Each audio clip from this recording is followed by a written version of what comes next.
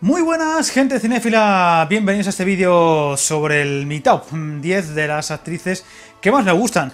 Un vídeo que llevaba yo diciendo que lo iba a hacer, yo creo desde el vídeo 500 o 600 suscriptores, con lo cual imaginaos, imaginaos el tiempo que ha pasado, lo hemos ido dejando, pero mira, todo tiene su tiempo, todo tiene su momento, y en este momento en el que no estamos teniendo muchas cosas a las que agarrarnos, pues es perfecto, top 10 de las actrices que más me gustan, y empezamos por el décimo puesto, que se lo voy a dar a Más de uno está diciendo, pero hombre, tan abajo, ¿cómo puedo poner tan abajo a una actriz que se lleva tantos Oscars, que es tan, siempre tan nominada, que es la favorita de casi todo el mundo?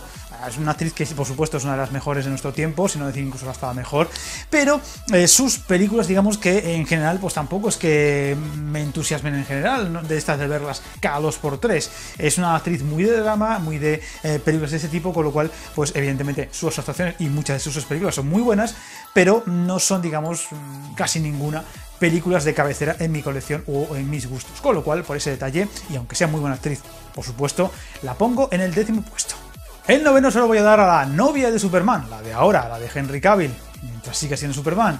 Me refiero a Amy Adams, que además hace muy poquito hice la crítica de la película La Llegada, donde está espectacular, una actriz con una presencia espectacular, siempre eh, llena la pantalla, es una actriz magnífica, yo creo que va a ganar el Oscar más pronto que tarde, ya tiene alguna nominación, pero evidentemente le falta ese Oscar, es una actriz a la que le deben un Oscar, aunque evidentemente es algo bastante caro de conseguir, magnífica, desde luego, ya digo, en La Llegada está espectacular, pero no solo La Llegada, hasta como novia de Superman está estupenda, actriz magnífica, que siempre está bien, tiene un gran nivel actoral y además una presencia física que siempre gusta. Así que noveno puesto para ella.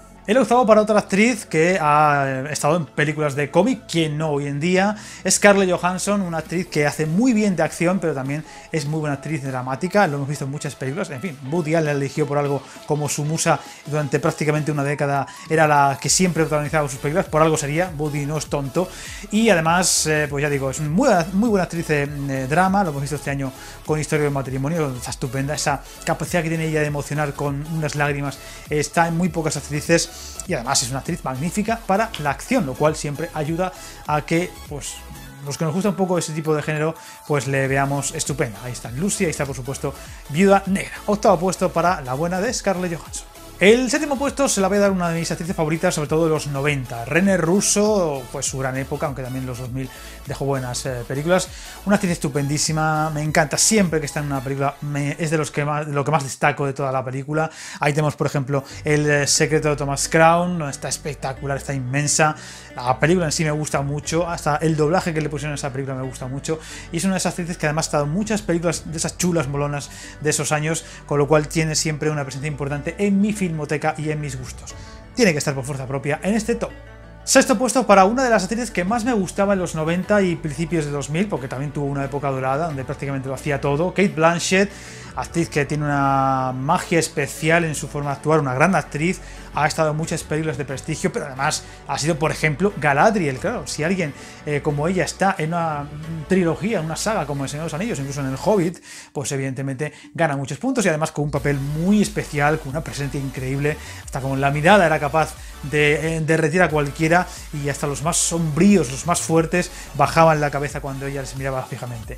La mirada de Galadriel no sería lo mismo sin Kate Blanchett como protagonista. Magnífica actriz, muchas son las películas en ha demostrado lo buena que es y lo bien que lo sabe hacer.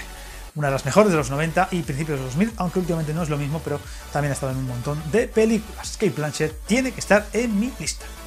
Quinto puesto para otra de esas actrices que enamora solamente con que esté en la pantalla. Haga lo que haga, siempre es estupenda, aunque sea una película del montón, aunque sea una cosa sencillita, hace muy poco Water, por ejemplo, o también eh, Casa de la Niebla, siempre está estupenda, incluso películas un poquito menores en cuanto a calidad, vamos a decir, crítica, como por ejemplo eh, Ultimatum a la Tierra, siempre está estupenda, siempre tiene algo especial y además, pues por ejemplo, ha hecho grandes actuaciones, ahí la tenemos en eh, Una mente maravillosa, donde se llevó el Oscar, aunque en este caso como actriz secundaria. Una pena porque está un poquito desaparecida, hace poco la vimos en Alita, bueno, hace, hace poco, hace un año, y esperemos que poco a poco vuelva porque es una de esas actrices que llena la pantalla. Y ojalá vuelva y además de que hablar en los próximos años. Cuarto puesto, seguimos con actrices que llenan la pantalla con su presencia física, con su rostro, con su físico y por supuesto con lo bien que lo hacen. Hace un momento he hablado de la novia de Superman y ahora elijo a la madre, eh, Marta, en este caso, que no eh, se ría nadie. Diane Lane, magnífica como madre de Superman, esa escena de, pues haz que el mundo es muy grande, mamá, pues haz que sea pequeño. Bueno, es un momento muy de Superman, que nos gusta a todos los que nos gusta ese personaje. Y es una actriz que a mí me gusta mucho porque además tiene un aire muy especial para la comedia romántica que yo soy, ya sabéis, bastante defensor. Por ejemplo, me gusta muchísimo Bajo el Sol de la Toscana y en esa película ahí está inmensa. Muy buena actriz, magnífica eh, en cuanto a físico, en cuanto a, presencia física, como digo, y siempre que está en una película sube puntos. Hasta por ejemplo en Infiel, que la critiqué hace muy poquito, una película muy normalita, ella estaba estupenda. Así que Diane Lane tiene que estar en mi top y en un puesto muy alto.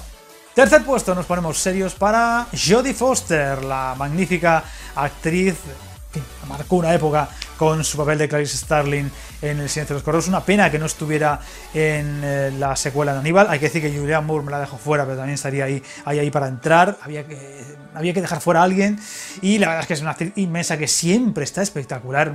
seguramente es una de las mejores actrices de los últimos 30 años. Una mujer que selecciona muy bien sus papeles, que no está demasiado en pantalla, pero cuando está deslumbra. Ahí está Contact, ahí está Elysium.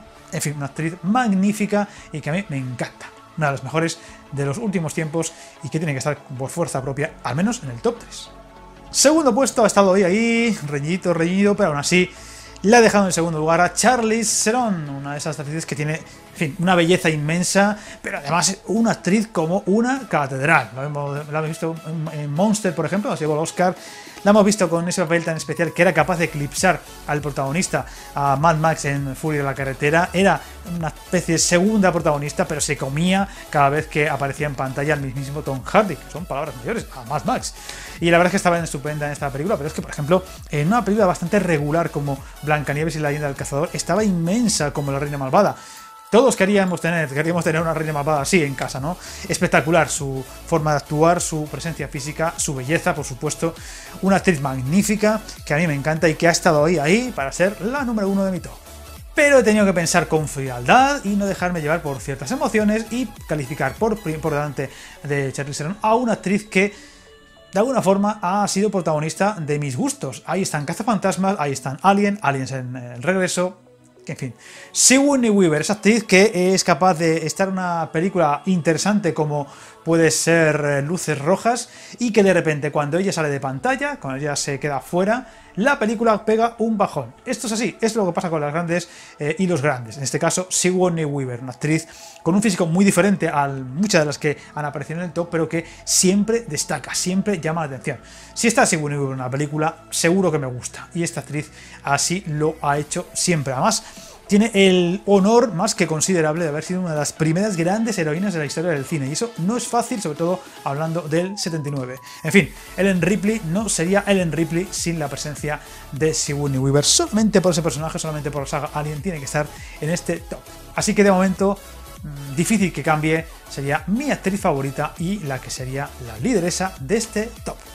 Y aquí lo dejamos, por supuesto decir que encantado de leer vuestros tops, sean top 10, 5, 3, lo que queráis, y eh, incluso a un compañero de youtuber que pueda ver este vídeo, si quiere hacer su propio top, aunque no lo domine, estaré encantado de verle y de que siga un poco el testigo. Así que si queréis hacer vuestro top de actrices favoritas, por supuesto, encantado. Y como siempre, ya sabéis, cualquier comentario, me gusta, etcétera, seguidme en redes sociales para estar tanto de lo que subo y cuándo lo subo, y para Robocop, no os metáis en líos.